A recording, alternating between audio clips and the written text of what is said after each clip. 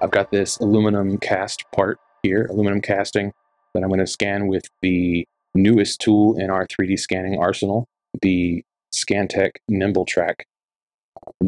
Just got it, uh, just got it in here at the office, and we're really excited about it. Uh, so let's get to it.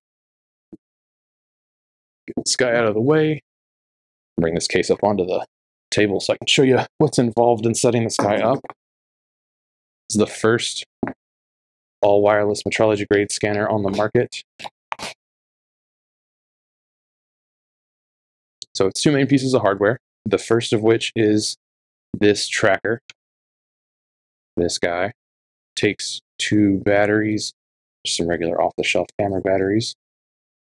So flip in here and here. So I'm going to install this little wireless adapter right here. This guy's powering up. Get this scanner going too. This is a scanner, the other part. Tracker goes up on this tripod. Super lightweight little carbon fiber tripod. Get the legs extended on this. Get it set up over here.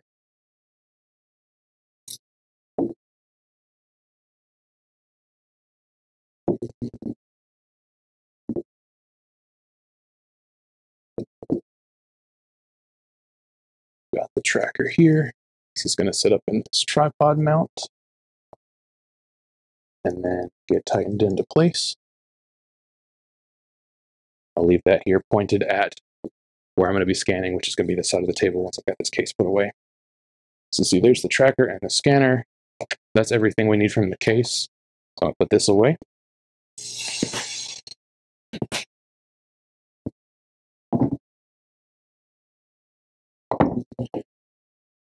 Bring this part back over here.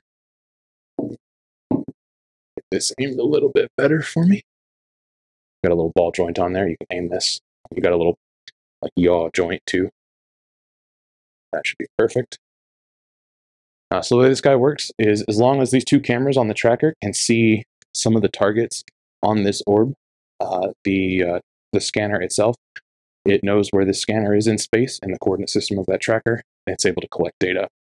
So you've got two smaller cameras and some laser emitters on this device. Those laser emitters will project a laser grid onto the surface. Depending on how those lasers bend into form, it's going to pick that data up uh, with these cameras and make really accurate 3D measurements of whatever's in front of this and place it accurately in this volume because of the tracker watching the scanner. Tell TViewer I'm going to start scanning, pick up my scanner, click and release the trigger. And I've got lasers and I've got scan data going over to TViewer. I've got some scanning settings uh, that I can mess with. There's some buttons on the back of the scanner I can use to zoom in and out, adjust some of my scanning settings while I'm going, exposure and such. I'm in my default scanning mode of laser crosses. So this is just your most efficient mode for scanning. It's your largest area the quickest.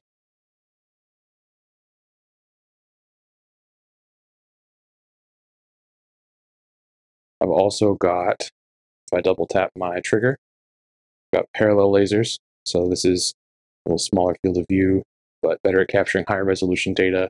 It lets you get a little bit closer to the part and really uh, take advantage of the resolution of the scanner's cameras. I've also got single laser, so this is really good at getting inside of like nooks and crannies, inside of holes, uh, and things like that. But most of the time, you'll spend your time in laser crosses mode and then fill in any gaps later with those other two where you need them. Making sure I get everything I can from this scanning position, and then we'll flip this guy over, scan it from another, and then combine those two together.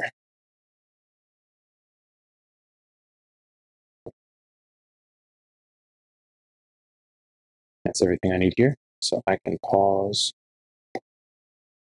scan all over the table there. We'll clean this up a little bit. We'll do a disconnected components, get rid of anything not attached to that main object we were scanning, and chop off the table.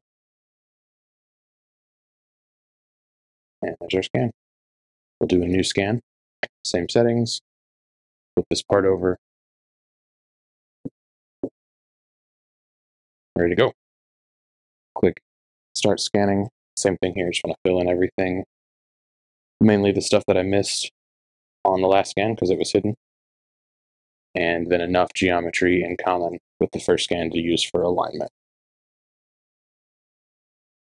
So in that case, this inside portion going to be what we missed last time, and then this outside portion is going to be what we're going to use for alignment.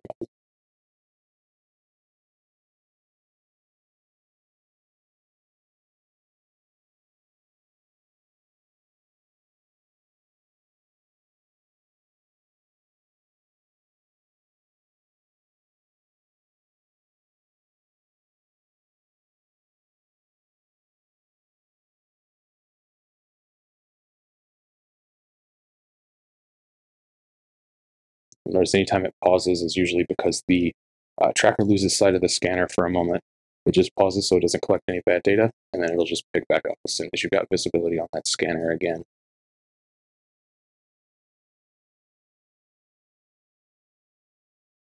Just pass inside here to make sure I've got anything I needed. I think I'm about finished here. There's that scan. We'll do the same thing here we did before. Do a disconnected components.